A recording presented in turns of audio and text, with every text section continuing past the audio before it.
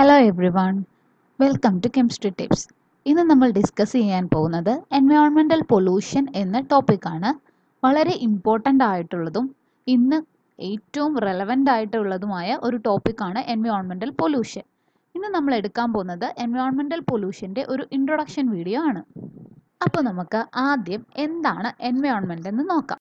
Environment is everything around നമ്മുടെ ചുറ്റുമുള്ള എല്ലാം തന്നെ എൻവയോൺമെന്റ് ആണ്. പരിസ്ഥിതിയാണ്. As the famous physicist Albert Einstein put it the environment is everything that is not me എന്താണ് അദ്ദേഹം പറയുന്നത്? ഞാനല്ലാത്ത എല്ലാം തന്നെ എൻവയോൺമെന്റ് ആണ്. അതായത് നമ്മുടെ ചുറ്റുമുള്ള എല്ലാം തന്നെ നമ്മുടെ എൻവയോൺമെന്റ് ആണ്. അതിനകത്ത് എന്തൊക്കെ ഇൻക്ലൂഡ് ചെയ്തിട്ടുണ്ട്? It includes the living and non living things non living things എന്ന് പറയുമ്പോൾ നമ്മുടെ air water energy with which we interact in a complex web of relationship that connect us to one another and to the world we live in. അതായത് നമ്മുടെ ചുറ്റുമുള്ള ജീവനുള്ളതും ജീവനില്ലാത്തതുമായ എല്ലാ സാധനങ്ങളും എല്ലാ തിങ്സും നമുക്ക് നമ്മുടെ എൻവയോൺമെന്റ് ആയിട്ട് കൺസിഡർ ചെയ്യാം.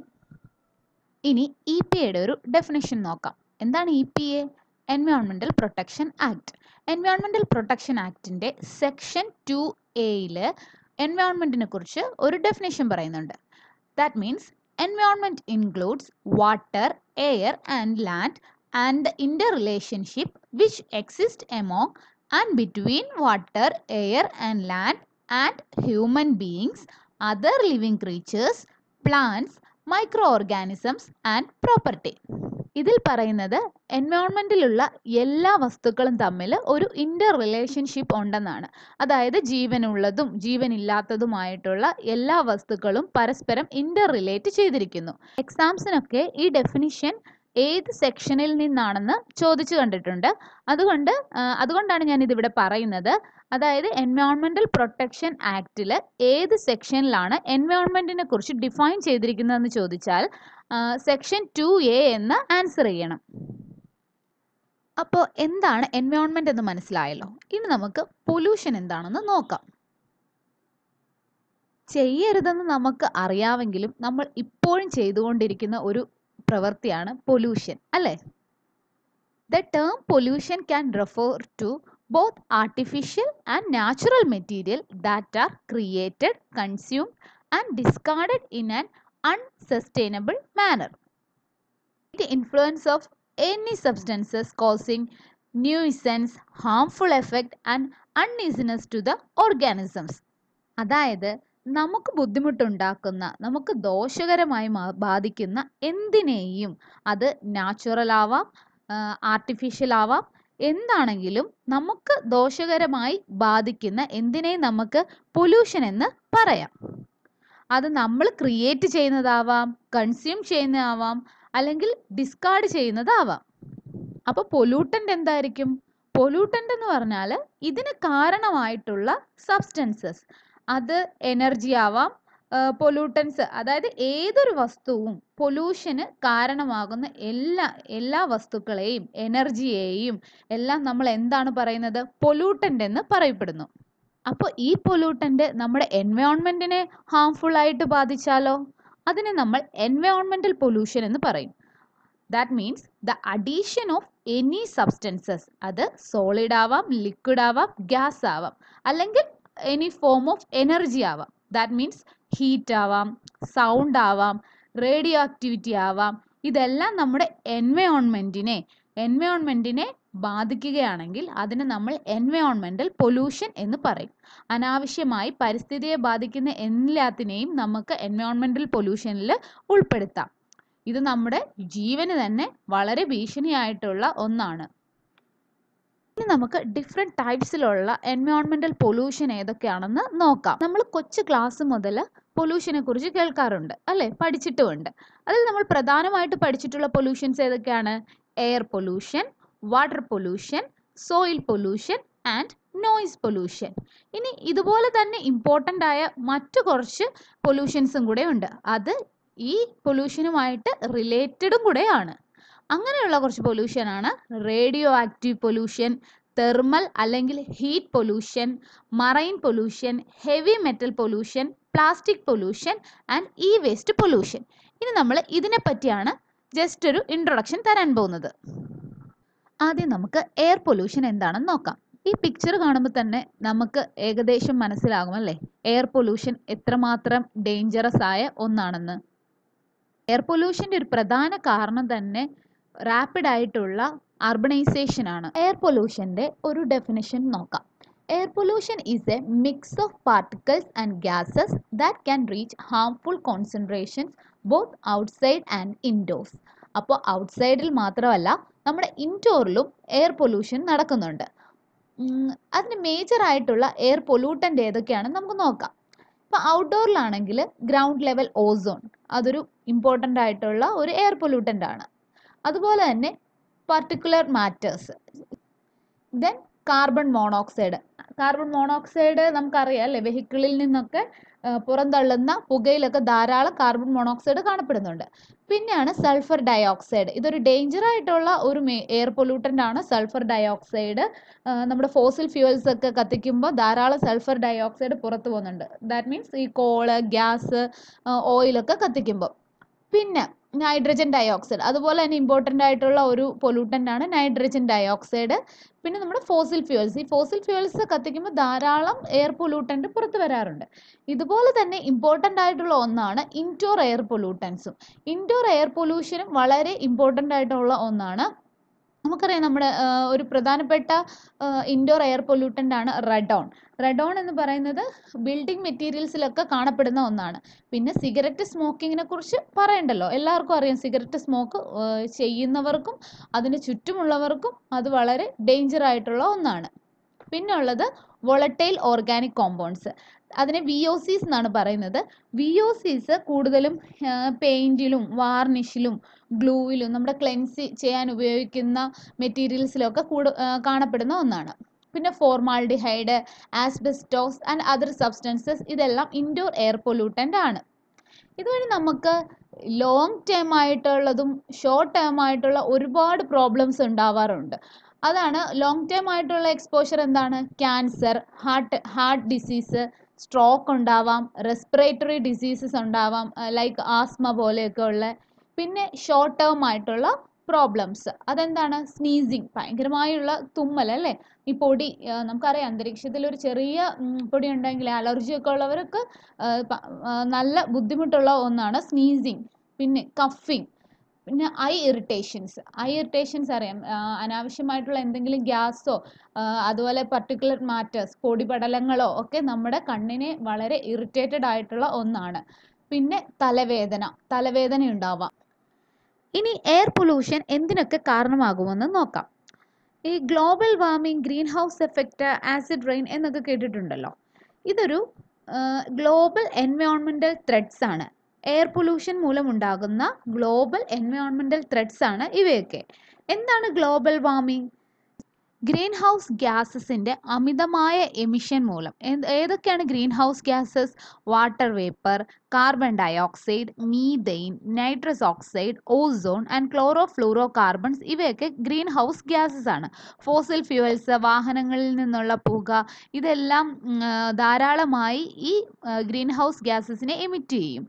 ഇത് അന്തരീക്ഷത്തിൽ ചെല്ലുമ്പോൾ ഈ അന്തരീക്ഷത്തിൽ ഇവർ നമ്മുടെ ഇൻഫ്രാറെഡ് റേസിനെ അല്ലെങ്കിൽ ഹീറ്റിനെ ട്രാപ്പ് ചെയ്യും. എർത്തിന്റെ അറ്റ്മോസ്ഫിയറിൽ എർത്ത് അറ്റ്മോസ്ഫിയറിലെ ടെമ്പറേച്ചറിനെ ഇൻക്രീസ് ചെയ്യുന്നു. ആവറേജ് ടെമ്പറേച്ചറിനെ ഇൻക്രീസ് ചെയ്യുന്നു. ഇതിനെയാണ് നമ്മൾ ഗ്ലോബൽ വാർമിംഗ് എന്ന് പറയുന്നത്. ഈ ട്രാപ്പ് ചെയ്യുന്ന ആ ഒരു പ്രവൃത്തിനെയാണ് ഗ്രീൻ ഹൗസ് എഫക്റ്റ് എന്ന് പറയുന്നത്. ഇതിന് കാരണമാകുന്ന ഗ്യാസസിനെ ഗ്രീൻ ഹൗസ് ഗ്യാസസ് എന്ന് പറയുന്നു. ഈ ഗ്ലോബൽ വാർമിംഗ് കാരണം ക്ലൈമറ്റ് ചേഞ്ച് ഉണ്ടാകുന്നു ഇനി മറ്റൊരു പ്രധാന ത്രെട്ടാണ് ആസിഡ് റെയിൻ ഈ ആസിഡ് റെയിനും ഇതുപോലെ എയർ പൊല്യൂഷന്റെ ഒരു ത്രെട്ടാണ് എങ്ങനെയാണ് ആസിഡ് റെയിൻ ഉണ്ടാവുന്നത്? നമുക്കറിയാം പവർ സ്റ്റേഷനിൽ നിന്നും ഇൻഡസ്ട്രിയിൽ നിന്നും വെഹിക്കിളിൽ നിന്നൊക്കെ ധാരാളം നൈട്രസ് ഓക്സൈഡും നൈട്രജൻ ഓക്സൈഡ്സും സൾഫർ ഡൈ ഓക്സൈഡ്സും ഒക്കെ അന്തരീക്ഷത്തിലേക്ക് പോകുന്നുണ്ട്. ഇത് അവിടുത്തെ വാട്ടർ വേപ്പറുമായിട്ട് മിക്സായി എന്തുണ്ടാവുന്നു? Sulphuric acid and nitric acid ഉണ്ടാവുന്നു. ഇത് നമ്മുടെ മഴയിലൂടെ തിരിച്ച് ഭൂമിയിലെത്തുന്നു. ഇങ്ങനെയാണ് ആസിഡ് റെയിൻ ഉണ്ടാവുന്നത്. ഇതൊക്കെയാണ് എയർ പൊല്യൂഷന്റെ മെയിൻ പോയിന്റ്സ് ഏതാണ് ഗ്രീൻ ഹൗസ് ഗ്യാസസ് ഏതൊക്കെയാണെന്ന് മറക്കാതെ പഠിച്ചിരിക്കണം. അത് എക്സാംസിനൊക്കെ വന്നിട്ടുണ്ട് അങ്ങനത്തെ ക്വസ്റ്റ്യൻസ് ഇത് എയർ പൊല്യൂഷന്റെ ഒരു ഇൻട്രൊഡക്ഷൻ ആണ്. ഡീറ്റെയിൽഡ് വീഡിയോ വേറെയുണ്ട്. എന്താണ് എയർ പൊല്യൂഷൻ എന്ന റഫ് ഫിഗർ എല്ലാവർക്കും മനസ്സിലായി കാണുമല്ലോ. Okay next water pollution it is the another major pollutions in the environment നമുക്കറിയാം water is the essential thing for the survival of living things picture കാണുമ്പോൾ തന്നെ അറിയാം നമ്മുടെ എസെൻഷ്യൽ തിങ് ആയ വാട്ടർ എത്രമാത്രം പൊല്യൂട്ടഡ് ആയിരിക്കുന്നു എന്ന്. നമുക്കിതിന്റെ ഡീറ്റെയിൽസ് ഒന്ന് നോക്കാം. Water pollution is described as the release of pollutant into bodies of water that interfere with beneficial use of water or with the natural functioning of ecosystem. The water pollutant refer to the substances which, which are capable of making any physical, chemical or biological change in the water body. അതായത് water ബോഡിയിലേക്ക് വരുന്ന ഏതൊരു പൊല്യൂട്ടന്റും വാട്ടറിനെ physically അല്ലെങ്കിൽ chemically biologically affect ചെയ്യുന്നു അങ്ങനെ നമുക്ക് ആവശ്യമായ അല്ലെങ്കിൽ ജീവജാലകങ്ങൾക്ക് ആവശ്യമായിട്ടുള്ള ഈ വെള്ളം ഉപയോഗശൂന്യമായി മാറുന്നു ഇത് നമ്മുടെ നാച്ചുറൽ എക്കോസിസ്റ്റത്തിന്റെ നാച്ചുറൽ ആയിട്ടുള്ള ഫങ്ഷൻ വരെ ബാധിക്കുന്ന ഒന്നാണ്. ഇതിനാണ് നമ്മൾ വാട്ടർ പൊല്യൂഷൻ എന്ന് പറയുന്നത്. ഇനി വാട്ടർ പൊല്യൂഷന്റെ സോഴ്സസുകൾ എന്തൊക്കെയാണെന്ന് നോക്കാം. എല്ലാവർക്കും അറിയുന്നത് തന്നെയാണ് ഒന്ന് സീവേജ് സീവേജ് അറിയാമല്ലോ. Household waste municipal solid waste അതുപോലെ തന്നെ ഇൻഡസ്ട്രിയൽ ആയിട്ടുള്ള വേസ്റ്റ് ഈ ഇൻഡസ്ട്രിയൽ വേസ്റ്റിനകത്തൊക്കെ ധാരാളം ഹെവി മെറ്റൽസ് അടങ്ങിയിട്ടുണ്ട്. ഇതെല്ലാം നേരെ ചെല്ലുന്നത് വാട്ടറിലേക്കാണ് അതുപോലെ തന്നെ അഗ്രികൾച്ചറൽ റൺ ഓഫ് നമുക്കറിയാം അഗ്രികൾച്ചറിൽ ധാരാളമായിട്ട് ഫെർട്ടിലൈസേഴ്സും പെസ്റ്റിസൈഡ്സും ഒക്കെ യൂസ് ചെയ്യുന്നുണ്ട്. ഇത് നേരെ ചെല്ലുന്നത് വാട്ടറിലേക്കാണ് ആ വാട്ടർ നമ്മൾ കുടിക്കുമ്പോൾ നമുക്ക് അതുപോലെ ധാരാളം രോഗങ്ങൾ ഉണ്ടാവാൻ കാരണമാകുന്നുണ്ട്. അതുപോലെ തന്നെ ഓർഗാനിക് ആയിട്ടുള്ള ഇനോർഗാനിക് ആയിട്ടുള്ള പാർട്ടിക്കിൾസ് പിന്നെ ഇതിന് പുറമെ ബയോളജിക്കൽ ആയിട്ടുള്ള പൊല്യൂട്ടൻസ് എന്താണ് ബയോളജിക്കൽ പൊല്യൂട്ടൻസ് എന്ന് പറഞ്ഞാൽ നമ്മുടെ പാത്തോജൻസ് രോഗം പരത്തുന്ന അണുക്കളൊക്കെ. അതുപോലെ തന്നെ വൈറസസ് ബാക്ടീരിയ ഈ കോളൈ പോലെയുള്ള ബാക്ടീരിയകൾ വാട്ടറിൽ വന്നാൽ അത് നമുക്ക് കുടിക്കാൻ തന്നെ പറ്റാത്ത ഒന്നായി മാറുന്നു. ഇനി ഇതുമൂലം എന്താണ് ഉണ്ടാകുന്നത്? കണ്ടാമിനേഷൻ ഓഫ് ഡ്രിങ്കിങ് വാട്ടർ ഞാൻ പറഞ്ഞതുപോലെ തന്നെ നമുക്ക് നമ്മുടെ ഡ്രിങ്കിങ് വാട്ടർ കണ്ടാമിനേറ്റഡ് ആയി മാറുന്നു. അതുപോലെ വാട്ടർ ബോൺ ഡിസീസസുകൾ ഉണ്ടാകുന്നു. Impurities of ground and surface water നമ്മുടെ ഗ്രൗണ്ട് വാട്ടറും നമ്മുടെ സർഫസ് വാട്ടറിലെല്ലാം തന്നെ ഇമ്പ്യൂരിറ്റീസ് കാണപ്പെടുന്നു. ഇത് നമ്മുടെ എക്കോസിസ്റ്റത്തിനെ അല്ലെങ്കിൽ അക്വാട്ടിക് എക്കോസിസ്റ്റത്തിനെ ഹാംഫുൾ ആയിട്ട് അഫക്റ്റ് ചെയ്യുന്നു. അക്വാട്ടിക് എക്കോസിസ്റ്റം എന്ന് പറയുമ്പോൾ നമ്മുടെ ഫിഷുകൾ അതുപോലെ തന്നെ വാട്ടറിൽ ജീവിക്കുന്ന പ്ലാന്റ്സ് അങ്ങനെ എല്ലാത്തിനെയും ഇത് അഫക്റ്റ് ചെയ്യുന്നു. ഇത് പിന്നീട് ഈ ഈ ഫിഷിലൊക്കെ ഇത് വന്നു കഴിഞ്ഞാൽ പിന്നീട് അത് നമ്മളിലേക്ക് തന്നെയാണ് എത്തിച്ചേരുന്നത്. അങ്ങനെ ഇത് നമുക്കും ബാധിക്കുന്നു. അതായത് അതിനാ അതാണ് next point affect food chain food ചെയിനിൽ affect ചെയ്യും. ഫുഡ് ചെയിൻ എങ്ങനെയാണ്? ഇപ്പോൾ ഫിഷിൽ വരുന്നത് ഫിഷിനെ ഈറ്റ് ചെയ്യുന്ന ഹ്യൂമനിൽ വരുന്നു. ഫിഷിനെ ഈറ്റ് ചെയ്യുന്ന അതർ ഓർഗാനിസംസിലോട്ട് പോകുന്നു. അതുപോലെ തന്നെ ഇമ്പോർട്ടന്റ് ആയിട്ടുള്ള ഒരു പ്രോബ്ലമാണ് യൂട്രോഫിക്കേഷൻ എന്നത്. യൂട്രോഫിക്കേഷൻ എന്താണെന്ന് ഞാൻ നെക്സ്റ്റ് പറയാം. അതുപോലെ തന്നെ മറൈൻ പൊല്യൂഷൻ മറൈൻ പൊല്യൂഷൻ എന്ന് പറയുന്നത് ഈ വാട്ടർ പൊല്യൂഷന്റെ തന്നെ ഒരു സബ് പാർട്ട് തന്നെയാണ്. കാരണം നമുക്കറിയാം എല്ലാ വാട്ടർ ബോഡീസിലുള്ള വേസ്റ്റ് ലാസ്റ്റ് എത്തിച്ചേരുന്നത് എങ്ങോട്ടാണ്? സീയിലോട്ടാണ് അപ്പോൾ ഈ ഒരു പോർഷൻ ഈ ഒരു ടോപ്പിക്ക് വളരെ ഇമ്പോർട്ടന്റ് ആണ് മറൈൻ പൊല്യൂഷൻ. അതെന്താണെന്ന് അടുത്ത അടുത്തതായി പറയാം. ഫസ്റ്റ് യൂട്രോഫിക്കേഷൻ എന്താണെന്ന് നോക്കാം. Eutrophication is a process of increasing biomass generation in a water body caused by increasing concentration of plant nutrients most commonly phosphate and nitrate that means enrichment of nutrients enrichment of nutrients എന്ന് പറഞ്ഞാൽ എന്താണ്? Nutrients ആയ phosphate nitrate പോലെയുള്ള nutrients increase ചെയ്യുന്നു. Water ബോഡിയിൽ increase ചെയ്യുന്നു. ഇങ്ങനെയാണ് eutrophication ഉണ്ടാവുന്നത്. ഇങ്ങനെ ഇൻക്രീസ് ചെയ്യുമ്പോൾ അതിൽ വാട്ടർ ബോഡീസിലുള്ള ആൽഗെ പോലെയുള്ള പ്ലാന്റ്സിന്റെ ഗ്രോത്തും ഇൻക്രീസ് ചെയ്യുന്നു. അപ്പോൾ എന്ത് സംഭവിക്കും? ആൽഗൽ ബ്ലൂം സംഭവിക്കും. അതായത് ധാരാളമായി ആൽഗേസ് ഉണ്ടാവും. ഈ ആൽഗേസ് എന്ത് ചെയ്യും? നമ്മുടെ വാട്ടറിൽ നിന്ന് ഓക്സിജനെ കൺസ്യൂം ചെയ്യും. അങ്ങനെ അതിലുള്ള ഡിസോൾഡ് ഓക്സിജന്റെ അളവ് വളരെയധികം കുറയുന്നതായി കാണാൻ പറ്റും. ഇത് വാട്ടറിലുള്ള ഫിഷുകളെ ഫിഷ് അതുപോലെയുള്ള ജീവികളെ എന്ത് ചെയ്യും? ഫിഷ് സ്പീഷീസ് ഒക്കെ തന്നെ ചത്തുപോകാനുള്ള കാരണമാകും. ഇങ്ങനെ ആ ലെവൽ ഓഫ് ഓക്സിജൻ ഡിക്രീസ് ചെയ്യുന്നത് കൊണ്ട് ഡെഡ് സോണായി ഡെഡ് സോണായി മാറും. ഡെഡ് സോൺ എന്ന് പറഞ്ഞാൽ റെഡ്യൂസ്ഡ് ലെവൽ ഓഫ് ഓക്സിജനാണ് ഡെഡ് സോൺ എന്ന് പറയുന്നത്. അവിടെ വേറെ ഫിഷ് പോലെയുള്ള ഒരു ജീവികളും ജീവിക്കില്ല. കാരണം എന്താണ്? ഓക്സിജൻ ഡിപ്ലീറ്റ് ചെയ്തു പോയി. ഡിസോൾഡ് ഓക്സിജന്റെ ഡിപ്ലീഷൻ കാരണം അവിടെ ഫിഷ് പോലെയുള്ള ജീവികൾക്ക് ജീവിക്കാൻ പറ്റില്ല.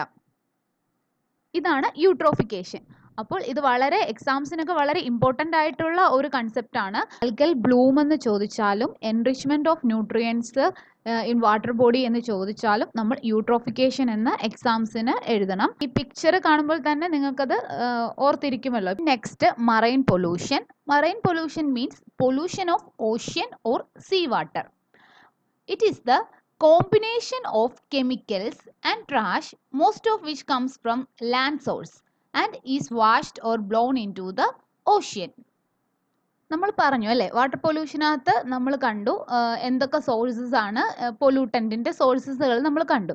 ഈ പൊല്യൂട്ടൻസ് എല്ലാം തന്നെ ലാൻഡിൽ നിന്നുള്ള ഈ ലാൻഡ് സോഴ്സിൽ നിന്നുള്ള പൊല്യൂഷൻസ് പൊല്യൂട്ടൻസ് നേരെ എത്തിച്ചേരുന്നത് സീയിലേക്കാണ് അത് മാത്രമല്ല ഫാക്ടറികളിൽ നിന്നും പവർ പ്ലാന്റുകളിൽ നിന്നുമുള്ള കെമിക്കൽസ് ട്രാഷ് ഇതെല്ലാം വാഷ്ഡ് ഔട്ട് ചെയ്യുന്നത് ഓഷ്യനിലേക്കാണ് ഓയിൽ ടാങ്കറുകൾ ഷിപ്പുകൾ ഇതിന്റെയൊക്കെ ആക്സിഡൻസ് മൂലവും അതല്ലാതെ തന്നെ ഓയിൽ പോകുന്ന പൈപ്പ് ലൈന്റെയൊക്കെ ലീക്കേജോ അല്ലെങ്കിൽ അത് പൊട്ടുന്നത് മൂലമോ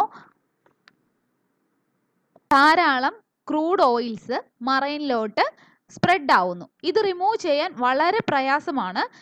ഇത് കാരണം സീയിലുള്ള ഓർഗാനിസംസിന് അല്ലെങ്കിൽ കടൽ പക്ഷികൾക്ക് അതുപോലെ തന്നെ മനുഷ്യർക്കും ഇത് വളരെ വലിയൊരു വിപത്തുണ്ടാക്കുന്നു. അടുത്തൊരു കാരണമാണ് പ്ലാസ്റ്റിക് പൊല്യൂഷൻ പിന്നെ land runoff sewage toxic chemicals garbages fertilisers radioactive wastes ocean mining ഇതെല്ലാം മറൈൻ പൊല്യൂഷന് കാരണമാകുന്നതാണ്. ഇനി ഇതുകൊണ്ടുണ്ടാവുന്ന പ്രശ്നങ്ങൾ എന്തൊക്കെയാണെന്ന് നോക്കാം. First one is eutrophication eutrophication എന്താണെന്ന് ഞാൻ പറഞ്ഞല്ലോ. എല്ലാവർക്കും മനസ്സിലായി കാണും.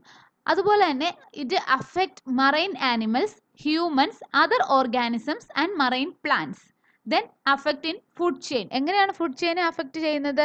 ഈ കെമിക്കൽസ് അല്ലെങ്കിൽ ഈ പെസ്റ്റിസൈഡ്സ് ഈ എല്ലാ പൊല്യൂട്ടൻസും move up the food chain food ചെയിനിലൂടെ അത് ലാസ്റ്റ് ട്രോഫിക് ലെവൽ വരെ എത്തിപ്പെടുന്നു. Then last oxygen depletion and higher acidity ഇതെല്ലാമാണ് മറൈൻ പൊല്യൂഷന്റെ അഡ്വേഴ്സ് എഫക്റ്റ് ഇനി നമുക്ക് നെക്സ്റ്റ് നോക്കേണ്ടത് സോയിൽ അല്ലെങ്കിൽ ലാൻഡ് പൊല്യൂഷൻ ആണ്. എന്താണ് soil pollution soil pollution is defined as the presence of toxic chemicals in the soil toxic chemical means pollutants or contaminants major ആയിട്ടുള്ള soil പൊല്യൂഷന്റെ കാരണം എന്ന് പറയുന്നത് അർബണൈസേഷനും ഇൻഡസ്ട്രിയലൈസേഷനുമാണ് അതുപോലെ തന്നെ അൺകൺട്രോൾഡ് ആയിട്ടുള്ള വേസ്റ്റ് ഡംപിങ് നമുക്കറിയാം അല്ലേ? വേസ്റ്റ് ഡംപിങ് എല്ലാം നമ്മൾ കാണുന്നുണ്ട്. പലപ്പോഴും റോഡ് സൈഡുകളിലുമൊക്കെ ധാരാളം വേസ്റ്റ് കൂട്ടിയിട്ടിരിക്കുന്നത് നമ്മൾ ശ്രദ്ധിച്ചിട്ടുണ്ടല്ലോ. അതുപോലെ തന്നെ അഗ്രികൾച്ചറൽ വേസ്റ്റ് ഫെർട്ടിലൈസേഴ്സ് അതുപോലെ തന്നെ വളരെ കെമിക്കലായിട്ടുള്ള പെസ്റ്റിസൈഡ്സ് ഇതെല്ലാം നേരെ ഒഴുകി ചെല്ലുന്നത് നമ്മുടെ സോയിലിലേക്കാണ് ഇത് സോയിലിന്റെ ഫെർട്ടിലിറ്റിനെ തന്നെ ബാധിക്കുന്ന ഒന്നാണ്. അതുപോലെ തന്നെ മൈനിങ് ഡീഫോറസ്റ്റേഷൻ ഇതെല്ലാം സോയിൽ പൊല്യൂഷന് കാരണമാകുന്നു.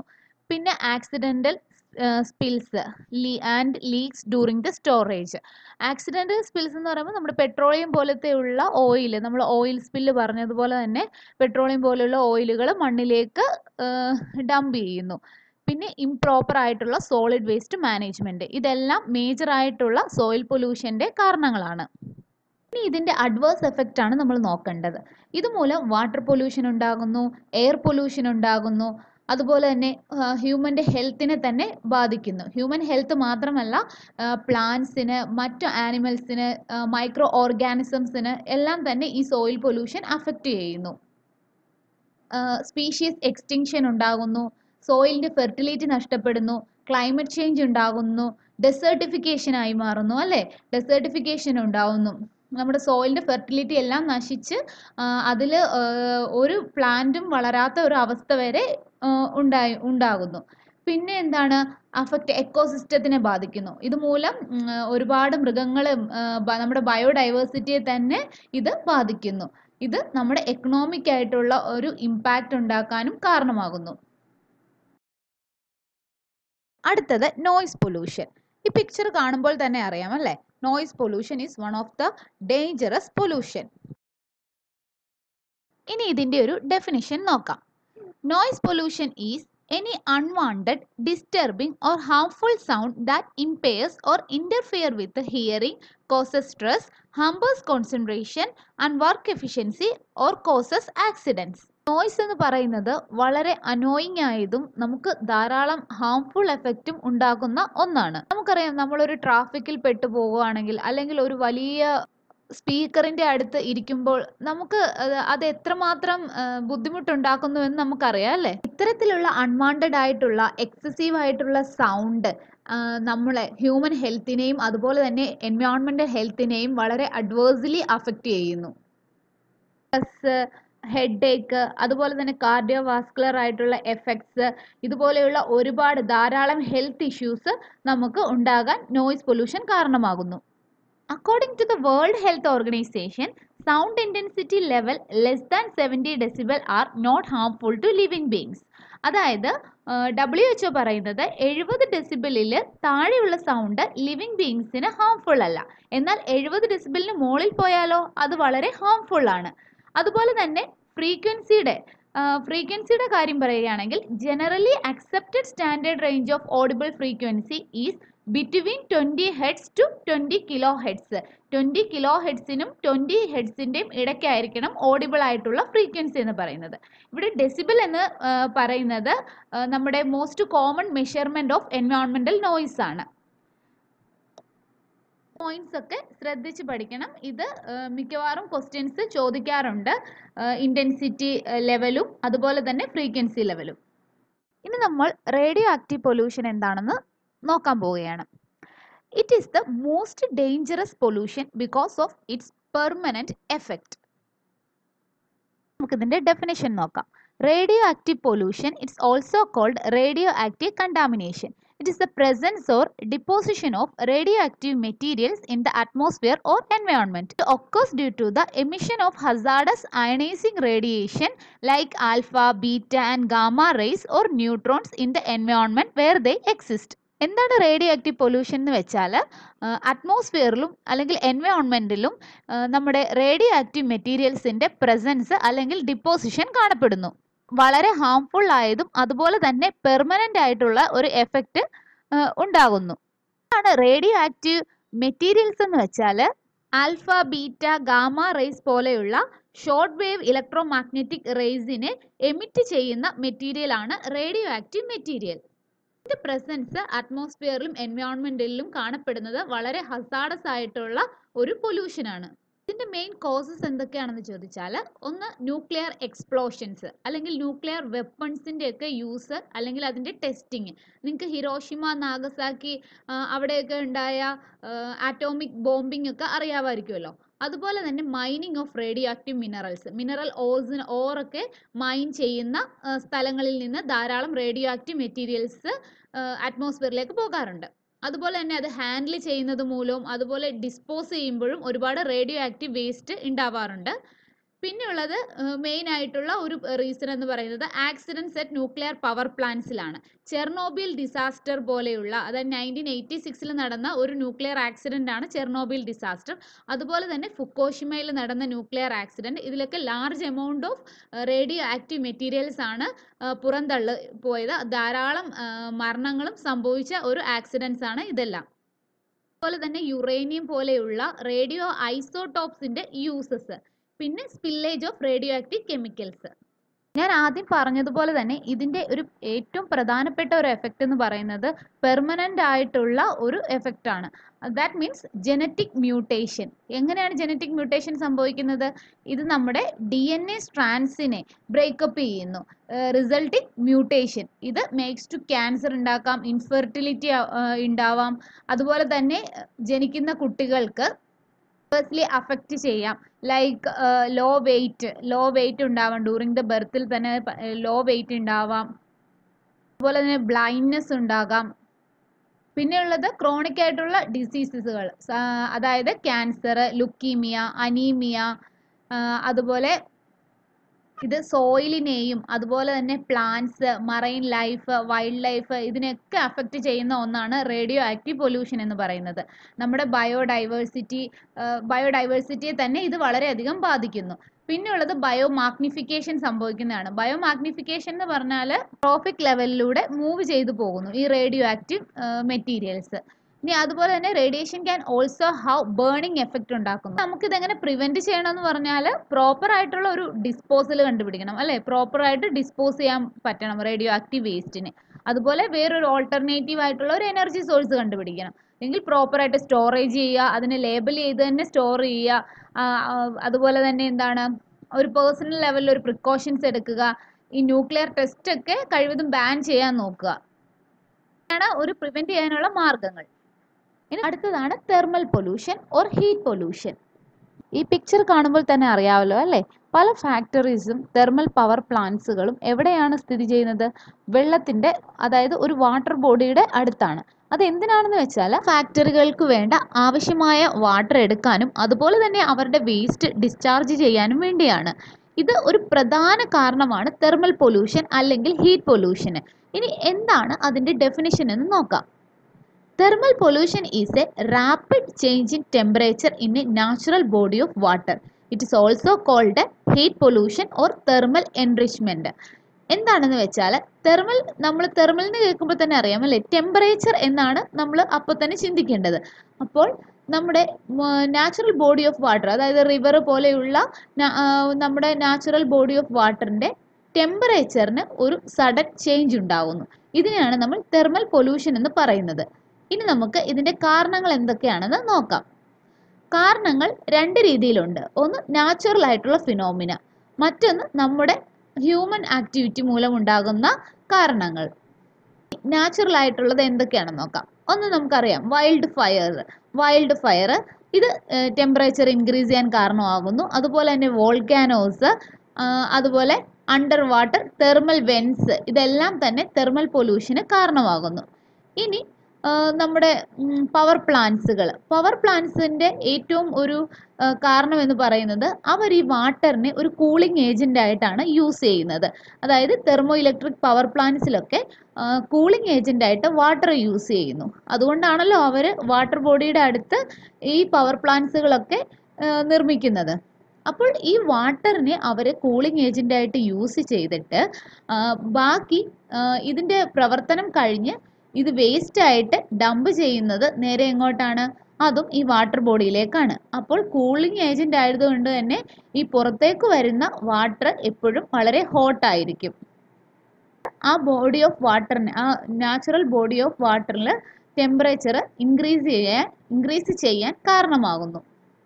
മാത്രമല്ല ഫാക്ടറികളിൽ നിന്നും ഇതുപോലെയുള്ള പവർ പ്ലാന്റുകളിലുള്ള വേസ്റ്റുകൾ അതായത് കെമിക്കൽസും നേരെ ചെല്ലുന്നത് വാട്ടറിലേക്കാണ് ഇതും വാട്ടറിന്റെ ഒരു ആ സ്വാഭാവികമായ അതിന്റെ ഒരു ആവറേജ് ടെമ്പറേച്ചറിൽ ഒരു ചേഞ്ചസ് സംഭവിക്കാം. അതുപോലെ തന്നെ വേസ്റ്റ് വാട്ടർ ഇറോഷൻ വഴിയും ഡീഫോറസ്റ്റേഷൻ വഴിയും അതുപോലെ തന്നെ അൺട്രീറ്റഡ് ആയിട്ടുള്ള sewage urban storm water agriculture run off domestic sewage ഇതെല്ലാം തന്നെ തെർമൽ പൊല്യൂഷന് കാരണങ്ങളാണ്.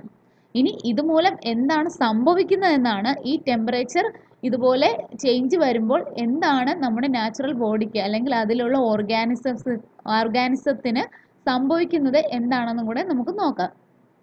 ആദ്യം തന്നെ ഇതിൽ ഡിക്രീസ്ഡ് ഡിസോൾഡ് ഓക്സിജൻ അതായത് വാട്ടറിലുള്ള ഡിസോൾഡ് ഓക്സിജൻ ഡിക്രീസ് ആവുന്നു. ഡിസോൾഡ് ഓക്സിജൻ കുറയുമ്പോൾ അത് നേരെ ബാധിക്കുന്നത് ആരെയാണ്? അതിലുള്ള ഓർഗാനിസംസ് അതുപോലെ തന്നെ പ്ലാന്റ്സ് എല്ലാത്തിനെയും ബാധിക്കുന്നു. ഇത് പിന്നീട് ബാധിക്കുന്നത് നമ്മുടെ ഹ്യൂ നമുക്ക് തന്നെ നമ്മളിൽ തന്നെയാണ്. അത് അതാണ് പറയുന്നത് ലോസ് ഓഫ് ബയോഡൈവേഴ്സിറ്റി ഇത് ഒരു എക്കോളജിക്കൽ ഇമ്പാക്ട്സ് ഉണ്ടാക്കുന്നു. അതുപോലെ തന്നെ വാട്ടറിലുള്ള ടോക്സിൻസിന്റെ അളവ് വളരെയധികം വർദ്ധിക്കുന്നു. ഇതും ഓർഗാനിസംസ് നശിച്ചു പോകുന്നതിനും അതുപോലെ തന്നെ ഇത് വെള്ളം നമ്മളിൽ എത്തുമ്പോൾ നമുക്കും ദോഷകരമായി ബാധിക്കുന്നു. പിക്ചർ കണ്ടോ? പിക്ചറിൽ അതിന്റെ ആ ഫാക്ടറികളിൽ നടക്കുന്ന ഒരു പ്രവർത്തനമാണ് കാണിക്കുന്നത്. ഒരു തെർമൽ പൊല്യൂഷൻ നടക്കുന്ന പിക്ചറാണ് അത്.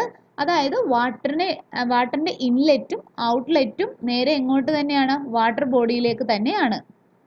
ഇതിലൊരു പ്രധാന പോയിന്റ് എന്ന് പറയുന്നത് വാട്ടറിനെ കൂളിംഗ് ഏജന്റ് ആയിട്ട് തെർമോ ഇലക്ട്രിക് പവർ പ്ലാന്റിൽ യൂസ് ചെയ്യുന്നു എന്നതാണ്. അതുകൊണ്ട് അത് വാട്ടറിലേക്ക് ചെല്ലുമ്പോൾ വാട്ടറിന്റെ ടെമ്പറേച്ചറിന് വേരിയേഷൻ ഉണ്ടാകുന്നു. ഇനി നോക്കേണ്ടത് ഹെവി മെറ്റൽ പൊല്യൂഷൻ ആണ്. ഹെവി മെറ്റൽ പൊല്യൂഷൻ വാട്ടറിലും എയറിലും സോയിലും ഒക്കെ കാണപ്പെടുന്ന ഒരു പൊല്യൂഷൻ ആണ്. ഇനി നമുക്ക് അതിന്റെ ഡീറ്റെയിൽസിലേക്ക് നോക്കാം. ആദ്യം എന്താണ് ഹെവി മെറ്റൽസ് എന്ന് നോക്കാം. ഹെവി മെറ്റൽസ് എന്ന് പറയുന്നത് it can be defined as all metallic elements having a density greater than five gram centimetre cube five gram centimetre ക്യൂബിന് ക്യൂബിലും മുകളിൽ ഡെൻസിറ്റിയുള്ള എല്ലാ എല്ലാ മെറ്റൽസുമാണ് ഹെവി മെറ്റൽസ് എന്ന് അറിയപ്പെടുന്നത്.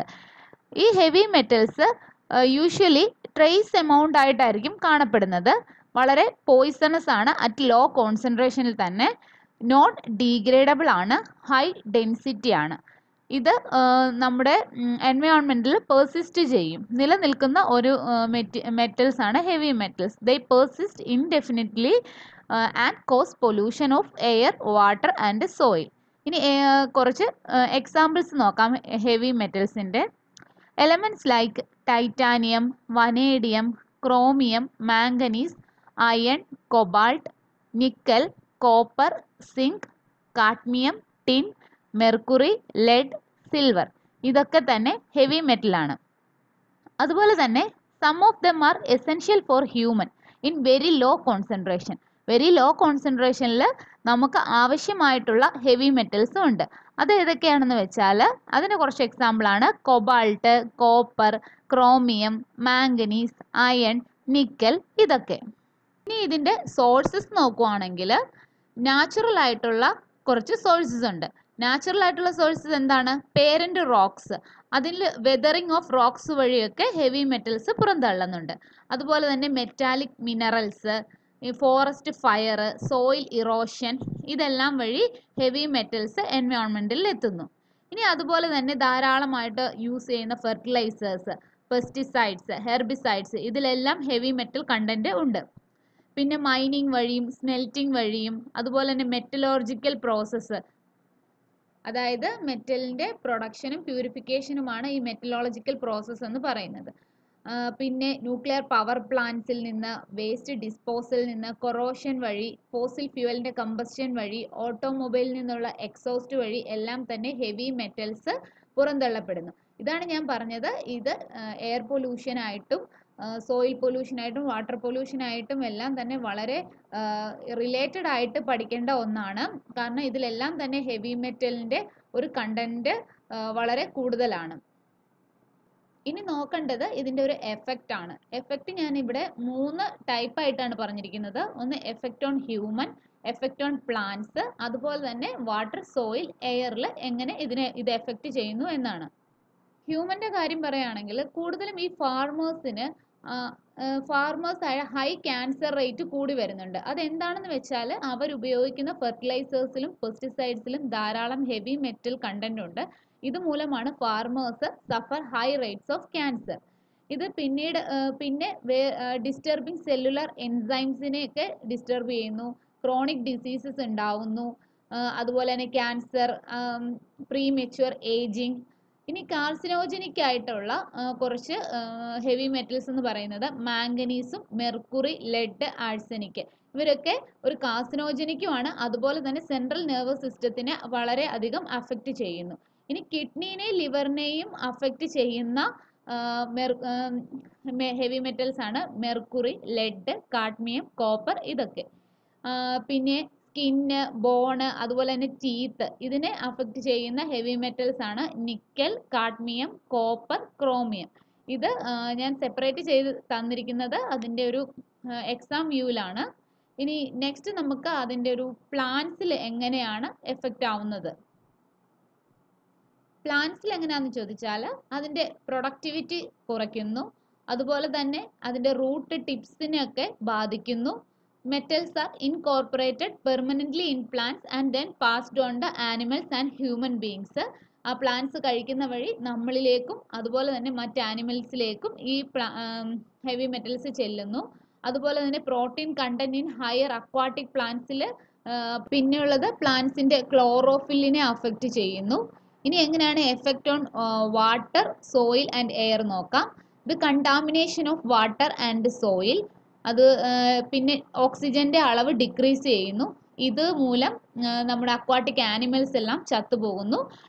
പിന്നെ ഇത് എന്ത് decrease in dissolved oxygen in water due to the presence of lead lead പോലെയുള്ള ഹെവി മെറ്റൽസ് ആണ് ഇതിന് കാരണം.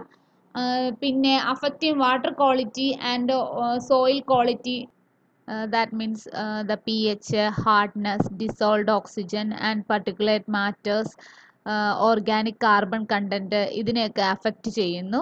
Then polluted air causes health problem ഈ എയറിൽ എങ്ങനെയാണെന്ന് ചോദിച്ചാൽ നമുക്ക് ഹെൽത്ത് പ്രോബ്ലം ഉണ്ടാകുന്നു. എങ്ങനെയൊക്കെ സ്കിന്നിന് അതുപോലെ തന്നെ ഐ ഇറിറ്റേഷൻ റെസ്പിറേറ്ററി പ്രോബ്ലം പിന്നെ കൊറോഷൻ കൊറോഷന് കാരണമാകുന്നു ക്യാൻസർ ഇതെല്ലാമാണ് ഇതിന്റെ ഒരു അഡ്വേഴ്സ് എഫക്റ്റ് ഞാൻ രണ്ട് ടേംസ് ആണ് പരിചയപ്പെടുത്തുന്നത്. Bio accumulation and bio magnification ഇത് ഹെവി മെറ്റൽ പൊല്യൂഷന്റെ ഒരു ഇമ്പോർട്ടന്റ് ആയിട്ടുള്ള അഡ്വേഴ്സ് എഫക്റ്റ് ആണ്. ബയോ അക്കുമുലേഷൻ എന്ന് പറയുന്നത് it is the accumulation of pollutant inside the cell and living tissues of living organism at concentration above those of immediate environment heavy metal പോലെയുള്ള pollutants അത് ചെല്ലുന്ന സെല്ലിലും അതുപോലെ തന്നെ ലിവിങ് ടിഷ്യൂസും ഓർഗാനിസത്തിന്റെ ലിവിങ് ഓർഗാനിസത്തിന്റെ സെല്ലിലും ലിവിങ് ടിഷ്യൂസിലും ഒക്കെ അത് അടിഞ്ഞുകൂടുന്നു. അത് നമ്മുടെ എൻവയോൺമെന്റിൽ ഉള്ളതിനേക്കാൾ കോൺസെൻട്രേഷൻ കൂടിയ അളവിലാണ് അക്കുമുലേറ്റ് ചെയ്യുന്നത്. ഇതിനെയാണ് ബയോ അക്കുമുലേഷൻ എന്ന് പറയുന്നത്. ഇതുമൂലം ഫുഡ് ചെയിനിൽ ഇത് അഫക്റ്റ് ചെയ്യാറുണ്ട്. കാരണം ഇപ്പോൾ ഒരു ഫിഷിലാണ് അടിഞ്ഞു കൂടുന്നതെങ്കിൽ ആ ഫിഷ് കഴിക്കുന്ന നമ്മളിലേക്കും അതുപോലെ തന്നെ ഫിഷിൽ മറ്റ് ഓർഗാനിസത്തിലേക്കും ഒരു പക്ഷി ഒരു പക്ഷിയാണെങ്കിൽ ആ പക്ഷിയിലേക്കും എല്ലാം തന്നെ ഈ പൊല്യൂട്ടൻസ് ചെല്ലുന്നു. പിന്നെ ഇതൊരു പെർസിസ്റ്റന്റ് ആയ കെമിക്കൽ ആയതുകൊണ്ട് ബയോഡിഗ്രേഡ് ചെയ്ത് പോകുകയില്ല. പിന്നെ ഇത് ഫുഡ് ചെയിൻ എനർജറ്റിക്സിനെ എല്ലാം ബാധിക്കുന്നു. പിന്നെ low rates of internal degradation or excretion of substances because due to the insolubility ഇതിന്റെ ഡീഗ്രഡേഷനും എക്സ്ക്രീഷനും ഒക്കെ വളരെ കുറവായതുകൊണ്ട് ഇത് അവിടെ അക്കുമുലേറ്റ് ചെയ്യുന്നു പെർസിസ്റ്റ് ചെയ്യുന്നു. ഇനി നെക്സ്റ്റ് ഒരു ടേം എന്ന് പറയുന്നത് ബയോളജിക്കൽ മാഗ്നിഫിക്കേഷൻ ആണ്. ഇത് മിക്ക പൊല്യൂഷനിൽ നിങ്ങൾ കണ്ടിട്ടുണ്ട് അല്ലേ? എന്താണെന്ന് വെച്ചാൽ it is the process whereby certain substances such as pesticides or heavy metals move up the food chain ഞാൻ പറഞ്ഞതുപോലെ തന്നെ അത് ഫുഡ് ചെയിനിലൂടെ മൂവ് ചെയ്യുന്നു. അതിനൊരു എക്സാമ്പിൾ എന്ന് പറഞ്ഞാൽ ഇപ്പം ഹെവി മെറ്റൽസ് ഇൻ റിവർ റിവറിലുള്ള ഹെവി മെറ്റൽസ് ഫിഷിൽ എത്തിച്ചേരുന്നു. ഈ ഫിഷിനെ കഴിക്കുന്ന നമ്മളിൽ എത്തിച്ചേരുന്നു. അല്ലെങ്കിൽ ഈ ഫിഷിനെ കഴിക്കുന്ന വേറൊരു പക്ഷിയിലേക്കോ എത്തിച്ചേരുന്നു. അതിനെ കഴിക്കുന്ന അടുത്ത ജീവിയിലേക്ക് അങ്ങനെ നമ്മുടെ ട്രോഫിക് ലെവലിലൂടെ ഇത് മൂവ് ചെയ്യുന്നു. ഇതിനെയാണ് ബയോ ബയോളജിക്കൽ മാഗ്നിഫിക്കേഷൻ എന്ന് പറയുന്നത്. The substances become concentrated in tissues or internal organs as they move up the food chain ഈ ഫുഡ് ചെയിനിലൂടെ പോകുമ്പോൾ അത് ആ ഓർഗാനിസത്തിന്റെ ടിഷ്യൂയിലും ഇന്റേർണൽ ഓർഗൻസിലും ഒക്കെ ചെല്ലി ചെന്ന് എത്തിപ്പെടുന്നു. ഇതിനൊരു എക്സാമ്പിൾ നമ്മൾ D D T D D ടിയെ കുറിച്ച് കേട്ടിട്ടുണ്ട് അല്ലേ? ഡി ഡി ഡി ടി പണ്ട് നമ്മൾ ഉറുമ്പിനൊക്കെ ധാരാളം ഉപയോഗിച്ചിരുന്നതാണ്. ഡി ഡി ടി നിർത്തലാക്കി. ഈ ഡി ഡി ടി ഇറോഷൻ വഴിയൊക്കെ നേരെ വാട്ടറിൽ എത്തിച്ചേരുന്നു. അത് അവിടുത്തെ ഫിഷ് അതുപോലെയുള്ള കുഞ്ഞു ഓർഗൻസും ഈറ്റ് ചെയ്യുന്നു. അത് ദെൻ നെക്സ്റ്റ് ട്രോപ്പിക് ലെവലിൽ എത്തുന്നു. ലാസ്റ്റ് എങ്ങോട്ടെത്തുന്നു? നമ്മളിൽ തന്നെ തിരിച്ചെത്തുന്നു. ഇതൊരു ബയോ മാഗ്നിഫിക്കേഷനും ബയോ അക്മലേഷനും ഒക്കെ ഒരു എക്സാമ്പിളാണ് ഇതിന്റെ റെമഡിയേഷൻ ഹെവി മെറ്റൽസിന്റെ റെമഡിയേഷൻ എന്താണെന്ന് നോക്കിയാൽ ഫിസിക്കൽ റിമൂവൽ ഡീടോക്സിഫിക്കേഷൻ അതുപോലെ തന്നെ ബയോ ബയോ ലീച്ചിങ് അതുപോലെ ഫൈറ്റോ റെമഡിയേഷൻസ് ഒക്കെ. Is the pictorial representation of bioaccumulation of heavy metals പിക്ചറിൽ നിന്നും ബയോ അക്കുമുലേഷൻ എന്താണെന്നും അതുപോലെ തന്നെ നമ്മുടെ ഹെവി മെറ്റലിന്റെ സോഴ്സസുകളും അതുകൊണ്ടുള്ള ആഫ്റ്റർ എഫക്റ്റ് എന്താണെന്നൊക്കെ മനസ്സിലാകും. ഇനി നമ്മൾ നെക്സ്റ്റ് പോകുന്നത് പ്ലാസ്റ്റിക് പൊല്യൂഷൻ ആണ്. പ്ലാസ്റ്റിക് പൊല്യൂഷൻ എല്ലാവർക്കും അറിയാവുന്ന ഒരു കാര്യമാണ്. എന്നാലും നമുക്കതിന്റെ സോഴ്സസുകളും അതിന്റെ ഹാംഫുൾ എഫക്റ്റും എന്താണെന്ന് നോക്കാം. Plastic pollution is a global problem it is the accumulation of plastic objects and particles in the earth environment that adversely affect human wildlife and their habitat single use plastic accounts for forty percentage of the plastic produced every year ഇപ്പോൾ പുതിയൊരു news എല്ലാവരും കണ്ടിട്ടുണ്ടായിരിക്കും അല്ലേ അല്ലേ? July ഒന്ന് മുതൽ simple use plastic എല്ലാം തന്നെ നിരോധിച്ചിരിക്കുന്നത് എല്ലാവർക്കും അറിയാമായിരിക്കുമല്ലോ അറിയാം ഈ പ്ലാസ്റ്റിക് ബാഗ് അതുപോലെ തന്നെ ഫുഡ് റാപ്പേഴ്സ് അങ്ങനെയുള്ള സാധനങ്ങൾക്കൊക്കെ ഒരു കുറച്ച് അവേഴ്സേ ഉള്ളല്ലേ അതിന്റെ ലൈഫ് ലൈഫ് സ്പാൻ എന്ന് പറയുന്നത്. പക്ഷേ അത് എൻവയോൺമെന്റിൽ ചെന്നാൽ ഹൺഡ്രഡ്സ് ഓഫ് ഇയേഴ്സ് അത് അങ്ങനെ തന്നെ അവിടെ പെർസിസ്റ്റ് ചെയ്യും. ഇത് വളരെ വലിയൊരു ദോഷമാണ് നമ്മുടെ എൻവയോൺമെന്റലിനും അതുപോലെ തന്നെ നമുക്കും ഉണ്ടാക്കുന്നത്. അതുപോലെ തന്നെ പ്ലാസ്റ്റിക്കിന്റെ പ്രൊഡക്ഷൻ എന്ന് പറയുന്നത് വളരെ എക്സ്പൊണൻഷ്യൽ ആയിട്ട് ഇൻക്രീസ് ചെയ്തുകൊണ്ടിരിക്കുകയാണ്. ഇവിടെ തന്നെ ഒരു സ്റ്റഡി പറയുന്നുണ്ട് from two point three million tons in nineteen fifty to four hundred and forty eight million tons by two thousand fifteen ഇതൊരു ഒരു ടു തൗസൻഡ് ഫിഫ്റ്റി ആകുമ്പോഴത്തേക്കും ഡബിൾ ആയിട്ട് ഇതിന്റെ പ്രൊഡക്ഷൻ ഇൻക്രീസ് ചെയ്യുന്നതാണ് കണക്കുകൾ പറയുന്നത്. Every year about eight million tons of plastic waste escapes into the ocean from the coastal nations എന്താണല്ലേ? അത്രയ്ക്ക് ഒരു eight million tons of plastic waste ആണ് നമ്മുടെ ഓഷ്യനിലേക്കും അതുപോലെ തന്നെ കോസ്റ്റൽ ഏരിയ നമ്മുടെ ചുറ്റുപാട് തന്നെ നോക്കിയാൽ തന്നെ അറിയാമല്ലേ എത്ര പ്ലാസ്റ്റിക് ഒരു ദിവസം നമുക്ക് കിട്ടുന്നുണ്ട്. നെക്സ്റ്റ് പോയിന്റ് പറയുന്നത് plastic often contain additives making them stronger more flexible and durable ഈ പോയിന്റ് എന്താ പറയുന്നതെന്ന് വെച്ചാൽ പ്ലാസ്റ്റിക്കിൽ അത് സ്ട്രോങ്ങർ ആകാനും ഫ്ലെക്സിബിൾ ആകാനും ധാരാളം അഡിറ്റീവ്സ് ചേർക്കുന്നുണ്ട്.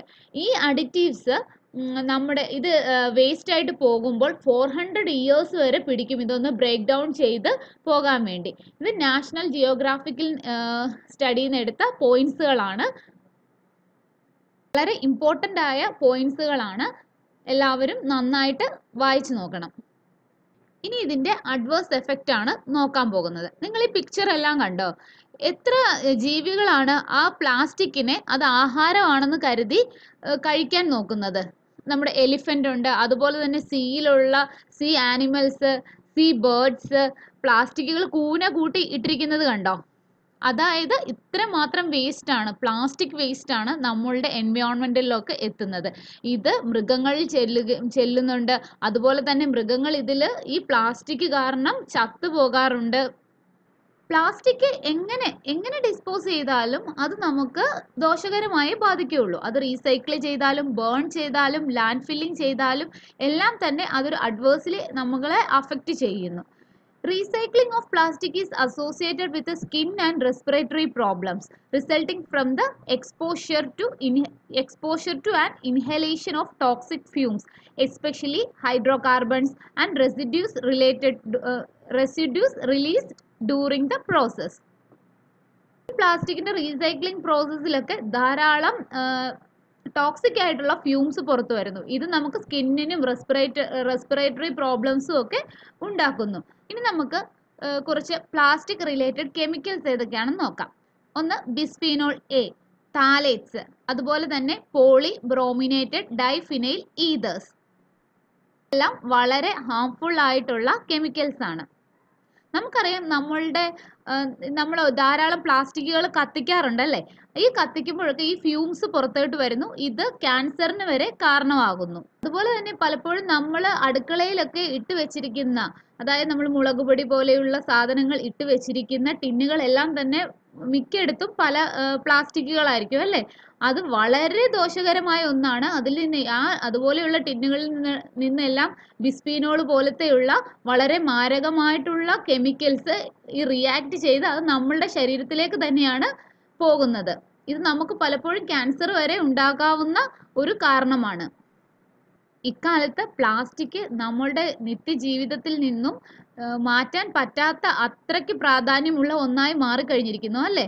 ഇതുകൊണ്ട് നമുക്ക് എന്താണ് ഗുണമാണോ പലപ്പോഴും ഉണ്ടാകുന്നത്? ഒരിക്കലും അല്ല. നമുക്ക് ഇതുമൂലം ദോഷഫലങ്ങൾ മാത്രമേ ഉണ്ടാകുന്നുള്ളൂ.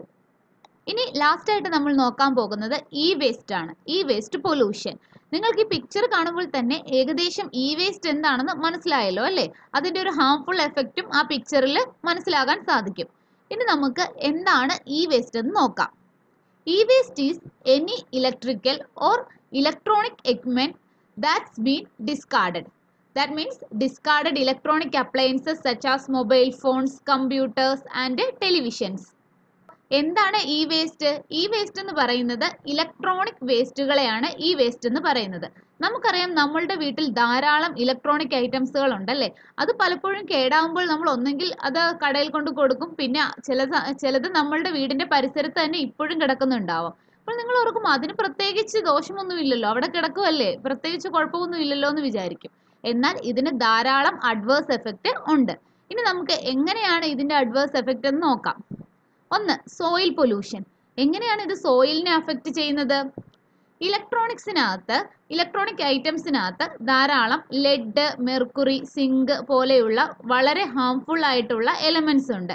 ഇത് നേരെ ചെല്ലുന്നത് സോയിലിലേക്കാണ്. ഇത് സോയിലിലെ ബയോളജിക്കൽ പ്രോപ്പർട്ടീസിനെ എല്ലാം തന്നെ നശിപ്പിച്ചു കളയുന്നു. അങ്ങനെ സോയിലിന്റെ ഫെർട്ടിലിറ്റിയും നശിപ്പിക്കുന്നു. പിന്നെ ഉള്ളതെന്ന് വെച്ചാൽ ഇലക്ട്രോണിക്സ് ആർ നോട്ട് ബയോഡീഗ്രേഡബിൾ ഇതൊന്നും ബയോഡീഗ്രേഡബിൾ അല്ല. അല്ലേ? നമുക്ക് തന്നെ അറിയാമല്ലേ കാരണം നമ്മൾ ഇപ്പോൾ നമ്മുടെ പരിസരത്ത് ഒരു കുഴി എടുക്കുകയാണെങ്കിൽ തന്നെ നമുക്കതിൽ നിന്ന് ചിലപ്പം പണ്ട് നമ്മൾ ഉപയോഗിച്ചിരുന്ന എന്തെങ്കിലും ഒരു ഇലക്ട്രോണിക്സ് ഐറ്റത്തിന്റെ എന്തെങ്കിലും ഒരു പാർട്സ് കിട്ടാതിരിക്കില്ല. കാരണം ഇത് അവിടെ ബയോഡീഗ്രേഡബിൾ അല്ലാത്തത് കൊണ്ടാണ് അതവിടെ നശിക്കാതെ തന്നെ കിടക്കുന്നു. പക്ഷെ എന്ത് സംഭവിക്കും? ഇതിൽ നിന്ന് മെർക്കുറി പോലെയുള്ള ഹെവി മെറ്റൽസ് സോയിലിലേക്ക് ലയിച്ചു പോകുന്നു. ഇനി നമുക്കിത് വാട്ടർ പൊല്യൂഷൻ എങ്ങനെ ഉണ്ടാക്കുന്നത് നോക്കാം. Chemicals in electronics will run off with water and surrounding community ഈ സോയിലൊക്കെ സോയിലൊക്കെ ചെന്നെത്തുന്ന ഈ മെർക്കുറി ലെഡ് സിങ്ക് പോലെയുള്ള എലമെന്റ്സ് അത് മാത്രമല്ല ധാരാളം ഹാംഫുൾ ആയിട്ടുള്ള മറ്റ് എലമെന്റ്സും ഉണ്ട്. ഇതെല്ലാം റൺ ഓഫ് വഴിയും അതുപോലെ തന്നെ ഇറോഷൻ വഴിയെല്ലാം നമ്മുടെ വാട്ടർ ബോഡിയിലേക്ക് എത്തിച്ചേരുന്നു. ഇത് പിന്നീട് എന്താ സംഭവിക്കുന്നതെന്ന് പറയണ്ടല്ലോ? വാട്ടർ പൊല്യൂഷൻ ഉണ്ടാക്കുന്നു. ഇനി നെക്സ്റ്റ് എയർ പൊല്യൂഷൻ എങ്ങനെ ഉണ്ടാക്കുന്നത് നോക്കാം.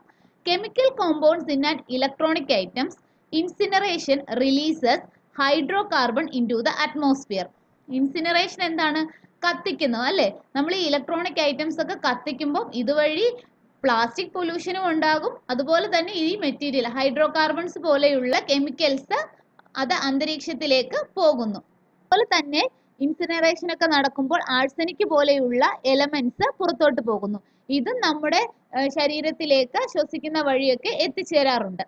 പിന്നെ അഫക്റ്റ് എക്കോസിസ്റ്റം ആൻഡ് ബയോഡൈവേഴ്സിറ്റി എക്കോസിസ്റ്റത്തിനെ ബാധിക്കുന്നു. അത് നമ്മുടെ ബയോഡൈവേഴ്സിറ്റിനെ ബാധിക്കുന്നു. ഇനി ഇത് നമ്മുടെ ഹ്യൂമൻ ബോഡിക്ക് എങ്ങനെയാണ് ഈ വേസ്റ്റ് അഫക്റ്റ് ചെയ്യുന്നത് നോക്കണ്ടേ? When the human body is exposed to mercury, it can cause harm to the central nervous system. Mercury arsenic lead പോലെയുള്ള മെറ്റൽസ് വളരെ ഹാംഫുൾ ആണ് ഹ്യൂമൻ ബോഡിക്ക് ഇതിൽ മെർക്കുറി അഫക്റ്റ് ചെയ്യുന്നത് സെൻട്രൽ നെർവസ് സിസ്റ്റത്തിനെയാണ് അതുപോലെ തന്നെ arsenic pollute the air it causes lung kidney skin and liver cancer the lead is also extremely dangerous to fetal development and young children lead കൂടുതലായും നമ്മുടെ ബാറ്ററീസിലൊക്കെ കാണപ്പെടുന്നതാണ്. നമുക്കറിയാലേ battery തീരുമ്പോൾ അപ്പൊ തന്നെ നമ്മൾ മണ്ണിലേക്കാണ് എറിഞ്ഞേക്കുകയാണ് അല്ലേ? അപ്പോൾ ആ ബാറ്ററിയിൽ നിന്നൊക്കെ ലെഡ് ധാരാളമായി സോയിലിലേക്ക് പോകുന്നുണ്ട്. ഇത് നമ്മൾ നമുക്ക് നമ്മളിലേക്ക് ചെല്ലുമ്പോൾ ഇതുപോലെയുള്ള കിഡ്നിക്കും അതുപോലെ തന്നെ നമ്മുടെ ഫീറ്റൽ ഡെവലപ്മെന്റ് യങ് ചിൽഡ്രനിലും ഒക്കെ ആണ് ഇത് ബാധിക്കുന്നത്. അപ്പോൾ നമ്മൾ പല ടൈപ്സ് ഓഫ് പൊല്യൂഷൻസ് കണ്ടു അല്ലേ? അതിന്റെ കോസസ് എന്തൊക്കെയാണെന്ന് കണ്ടു ആഫ്റ്റർ എഫക്റ്റ് എന്തൊക്കെയാണെന്ന് മനസ്സിലായി. ഇനി നോക്കാൻ പോകുന്നത് നമ്മൾ ഈ പറഞ്ഞ പൊല്യൂഷൻസിനെയൊക്കെ കൺട്രോൾ ചെയ്യാൻ വേണ്ടിയുള്ള ആക്റ്റുകളും അതുപോലെ തന്നെ റൂൾസുകളും ഇനി ഇതിന്റെയൊക്കെ ഒരു കൺട്രോൾ ചെയ്യാൻ വേണ്ടി നിയമിച്ചിരിക്കുന്ന അതോറിറ്റീസിനെ കുറിച്ച് ഉള്ള ഒരു ചെറിയൊരു ഔട്ട്ലൈൻ ആണ് പറയാൻ പോകുന്നത്. അതിൽ തന്നെ വളരെ ഇമ്പോർട്ടന്റ് ആയിട്ടുള്ള കുറച്ച് ആക്റ്റുകളും റൂളുകളും അതോറിറ്റീസിനെ കുറിച്ചുമാണ് പറയുന്നത്. ഒന്നാമതായി എൻവയോൺമെന്റൽ പ്രൊട്ടക്ഷൻ ആക്ട് ഇത് ഇനാക്ട് ചെയ്തിരിക്കുന്നത് നയന്റീൻ എയ്റ്റി സിക്സിലാണ് നയന്റീൻ നയന്റി വണ്ണിൽ ഇത് അമെൻമെന്റ് ചെയ്തു. അതുപോലെ തന്നെ നമ്മുടെ വാട്ടറിനെ പ്രിവെന്റ് ചെയ്യാനും കൺട്രോൾ ചെയ്യാൻ വേണ്ടിയുള്ള വാട്ടർ ആക്ട് അത് നയന്റീൻ സെവന്റി ഫോറിലാണ് അതുപോലെ തന്നെ മറ്റൊരു ആക്റ്റും ഒരു റൂളും കൂടെ ഉണ്ട് വാട്ടറിന്റെ water prevention and control of pollution cess act. ഇത് ഇനാക്ട് ചെയ്തിരിക്കുന്നത് നയന്റീൻ സെവന്റി സെവനിലാണ്. ഇനി എയർ പൊല്യൂഷനെ പ്രിവെന്റ് ചെയ്യാനുള്ളത്. Air prevention control pollution act was enacted in nineteen eighty one. ഇത് അമെൻമെന്റ് ചെയ്തിരിക്കുന്നത് നയന്റീൻ എയ്റ്റി സെവനിലാണ്. ഇതെല്ലാം വളരെ ഇമ്പോർട്ടന്റ് ആയിട്ടുള്ള ആക്റ്റുകളാണ്. അതുപോലെ തന്നെ ഇതിന്റെ ഇയറുകൾ മനസ്സിലാക്കി വെച്ചിരിക്കണം.